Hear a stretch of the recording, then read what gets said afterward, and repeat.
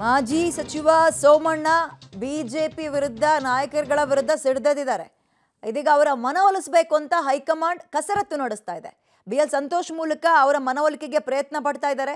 ದುಡುಕಿ ಯಾವುದೇ ತೀರ್ಮಾನ ಮಾಡಬೇಡಿ ಅಂತ ಸೋಮಣ್ಣ ಮುನಿಸು ತಣಿಸುವ ಪ್ರಯತ್ನ ಕೂಡ ಬಿಜೆಪಿಯಲ್ಲಿ ಆಗ್ತಾ ಇದೆ. ಹಾಗಾದರೆ ಸೋಮಣ್ಣ ಅವರ ಮನವೊಲಿಕೆಯ ಪ್ರಯತ್ನ ಸಕ್ಸಸ್ ಆಗುತ್ತಾ?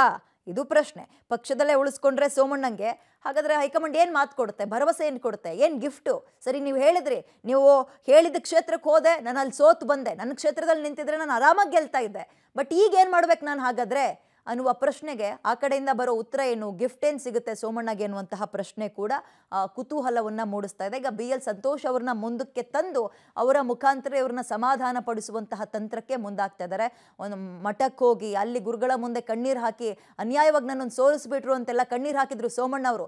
ಒಂದೊಂದುವರೆ ಗಂಟೆ ಅಮಿತ್ ಶಾ ಬಂದು ಮನೆ ಬಾಗಿಲು ಬಿಟ್ಟು ಹೋಗಲೇ ಇಲ್ಲ. ಮನೆ ಒಳಗೆ ಕುತ್ಕೊಂಡು ನನ್ನನ್ನು ಮನವೊಲಿಸೋ ಪ್ರಯತ್ನ ಮಾಡಿದ್ರು. ಮೋದಿ ಕೂಡ ಮಾತಾಡಿದ್ರು. ಅದಕ್ಕೆ ನಾನು ನನ್ನ ಕ್ಷೇತ್ರ ಬಿಟ್ಕೊಟ್ಟೆ ಅಂತ ಪಾಪ ಕಣ್ಣರ ಕಣ್ಣೀರಿನ ಹಾಕಿದ್ರು.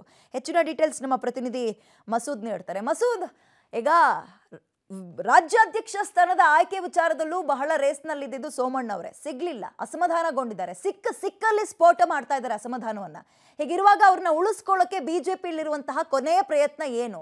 ಏನ್ ಗಿಫ್ಟ್ ಕೊಟ್ಟು ಅಥವಾ ಏನ್ ಮನವೊಲಿಸಿ ಉಳಿಸ್ಕೋಬಹುದು ಸೋಮಣ್ಣ, ಇದೆಲ್ಲದಕ್ಕೂ ತಣಿತಾರೆ ಅಂತ ಅನ್ಸುತ್ತಾ?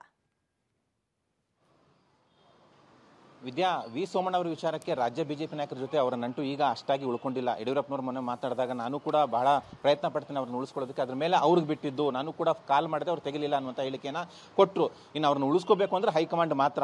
ಈ ನಿಟ್ಟಿನಲ್ಲಿ ಹೈಕಮಾಂಡ್ ಕಸರತ್ತನ್ನು ಆರಂಭ ಮಾಡಿದೆ. ಬಿ. ಎಲ್. ಸಂತೋಷ್ ಅವರ ಮೂಲಕ ಅವರ ಮನವೊಲಿಕೆಗೆ ಮುಂದಾಗಿರುವಂಥದ್ದು. ಎರಡು, ಮೂರು ಬಾರಿ ಅವರು ಮಾತನಾಡಿದ್ದಾರೆ, ಸಿಡಿದೆದ್ದಿದ್ದಾರೆ, ಬಹಿರಂಗವಾಗಿ ಅಸಮಾಧಾನವನ್ನು ವ್ಯಕ್ತಪಡಿಸ್ತಾ ಇದ್ದಾರೆ. ಮೊದಲು ತಮ್ಮ ಸ್ವಕ್ಷೇತ್ರ ಕಳ್ಕೊಂಡ್ರು, ಹೈಕಮಾಂಡ್ ಹೇಳ್ತು ಅಂತ ಡಬಲ್ ಕ್ಷೇತ್ರದಲ್ಲಿ ಸ್ಪರ್ಧೆ ಮಾಡಿದ್ರು. ಅಲ್ಲೂ ಕೂಡ ಸೋತರು. ಬಾಯ್ಬಿಟ್ಟು ರಾಜ್ಯಾಧ್ಯಕ್ಷ ಸ್ಥಾನ ಕೊಡಿ ಅನ್ನುವಂಥ ಕೇಳಿದ್ರು. ರಾಜ್ಯಾಧ್ಯಕ್ಷ ಸ್ಥಾನವನ್ನು ಕೂಡ ಹೈಕಮಾಂಡ್ ವತಿಯಿಂದ ಮಿಸ್ ಆಯಿತು. ಈಗ ಅವ್ರ ಜೊತೆ ಅಂದರೆ ಹೈಕಮಾಂಡೇ ಅವ್ರನ್ನ ಉಳಿಸ್ಕೋಬೇಕು. ಆ ನಿಟ್ಟಿನಲ್ಲಿ ಕೂಡ ಪ್ರಯತ್ನ ನಡೀತಾ ಇದೆ. ಇತ್ತೀಚೆಗೆ ಬಿ ಎಲ್ ಸಂತೋಷ್ ಅವರು ಅವ್ರನ್ನ ಫೋನ್ ಮಾಡಿದ್ರಂತೆ. ಫೋನ್ ಮಾಡಿಬಿಟ್ಟು ನೀವು ಇರಿ, ಯಾವುದು ದುಡುಕುವ ಅಂತ ನಿರ್ಧಾರ ಮಾಡಬೇಡಿ. ಬನ್ನಿ ದೆಹಲಿಗೆ ಮಾತನಾಡೋಣ. ವರಿಷ್ಠರ ಜೊತೆ ಮಾತನಾಡಿ, ಆ ವರಿಷ್ಠರು ನಿಮಗೇನಾದರೂ ಒಂದು ವ್ಯವಸ್ಥೆ ಕಲ್ಪಿಸ್ತಾರೆ. ಪಕ್ಷದಲ್ಲಿ ನೀವು ಇರಬೇಕು, ಹಿರಿಯರು ಅನ್ನುವಂತಹ ಒಂದು ಮನವಿ ಮಾಡಿದ್ದಾರೆ. ಆಯಿತು ಅಂದ್ಬಿಟ್ಟು ಡಿಸೆಂಬರ್ ಆರು, ಆರನೇ ತಾರೀಕು ತುಮಕೂರಿನಲ್ಲಿ ಒಂದು ಶಕ್ತಿ ಪ್ರದರ್ಶನ ಇದೆ. ಗುರುಭವನ ಉದ್ಘಾಟನೆ ಒಂದು ಕಾರಣ ಇಟ್ಕೊಂಡು ವಿ ಸೋಮಣ್ಣ ಅವರು ಶಕ್ತಿ ಪ್ರದರ್ಶನ ಮಾಡ್ತಾರೆ. ಹೈಕಮಾಂಡ್ಗೆ ತಮ್ಮ ಶಕ್ತಿಯನ್ನು ಅವತ್ತು ತೋರಿಸ್ತಾರೆ. ಅದಾದ ನಂತರ ಏಳನೇ ತಾರೀಕು ಅಥವಾ ಎಂಟನೇ ತಾರೀಕು ದೆಹಲಿಗೆ ಹೋಗ್ತಾರೆ. ವಿ ಸೋಮಣ್ಣ ಅವರು ವರಿಷ್ಠರ ಜೊತೆ ಮಾತಾಡ್ತಾರೆ. ಕಟ್ಟ ಕಡೆಯ ಪ್ರಯತ್ನವನ್ನು ವರಿಷ್ಠರ ಜೊತೆ ಮಾತುಕತೆ ಮೂಲಕ ವಿ ಸೋಮಣ್ಣ ಅವರು ಮಾಡ್ತಾ ಇದ್ದಾರೆ. ತುಮಕೂರು ಬೇಕೇ ಬೇಕು ಅನ್ನುವಂತಹ ಪಟ್ಟನ್ನು ಕೂಡ ಹಿಡ್ಕೊಂಡಿರುವಂಥದ್ದು ಲೋಕಸಭೆ ಟಿಕೆಟ್. ತಮ್ಮ ಪುತ್ರನಿಗಾಗಲಿ, ತಮಗಾಗಲಿ ಅಥವಾ ತಮಗೆ ಕೊಡಿ ಅನ್ನುವಂಥದ್ದು.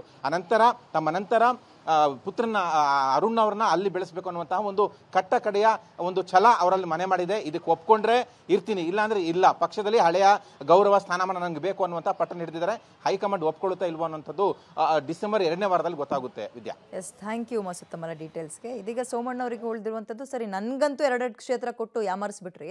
ನನ್ನ ಮಗನ ಭವಿಷ್ಯ ಏನಾದರೂ ನೋಡಿ, ರಾಜಕೀಯವಾಗಿ ಅವನನ್ನಾದರೂ ಬೆಳೆಸೋಕೆ ನೋಡಿ ಅನ್ನುವ ಒಂದು ಒತ್ತಾಸೆಯನ್ನು ಮುಂದಕ್ಕೆ ಇಡ್ಬೋದು, ಅವರ ಮನವಿಯನ್ನು ಇಡ್ಬೋದು. ಅದಕ್ಕೆ ಹೈಕಮಾಂಡ್ ಹೇಗೆ ರೆಸ್ಪಾನ್ಸ್ ಮಾಡುತ್ತೋ ಗೊತ್ತಿಲ್ಲ. ಎಂ ಪಿ ಎಲೆಕ್ಷನಲ್ಲಿ ತುಮಕೂರು ಕಡೆಗೆ ನಿಲ್ಸಿ ನನ್ನ ಮಗನೇ ಅಂತ ಕೇಳ್ಬೋದು. ಅದಕ್ಕಾದರೂ ಓಕೆ ಅನ್ನತ್ತಾ ಅವಾಗ ಉಳ್ಕೋತಾರ ಸೋಮಣ್ಣ ಅವರು? ಅವ್ರ ಸಮಾಧಾನ ಆಗ್ತಾರಾ? ಇದು ಪ್ರಶ್ನೆ.